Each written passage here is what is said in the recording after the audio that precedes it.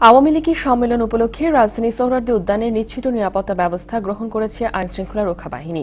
বিকেলে সম্মেলন স্থলে নিরাপত্তা ব্যবস্থা পর্যবেক্ষণে এসে একথা জানালেন র্যাবের মহাপরিচালক বেঞ্জুর আহমেদ। সম্মেলন কেন্দ্র করে কেউ যাতে কোনো ধরনের নাশকতা করতে না পারে, সেদিকে বিশেষ নজর দেওয়ার কথাও জানান তিনি।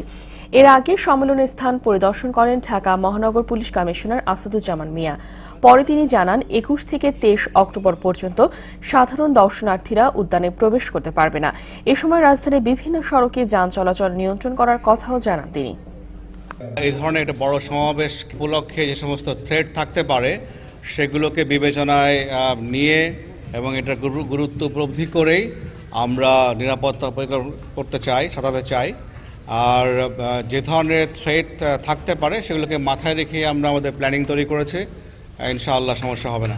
আমরা অলরেডি একুশ তারিখ থেকে এর দায়িত্ব গ্রহণ করব। আমাদের এসবি র্যাব এবং ঢাকা মেট্রোপলিটন পুলিশের ডগ স্কট দ্বারা এটিকে প্রতিটা ইঞ্চি সুইপিং করা হবে। এবং প্রপার সুইপিংয়ের পরে আমরা এটার দায়িত্ব গ্রহণ করব। তারপর থেকে শুধুমাত্র অনুমোদিত ব্যক্তি ছাড়া কোনো অনুমোদিত ব্যক্তি এর ভিতরে প্রবেশ করতে পারবে না।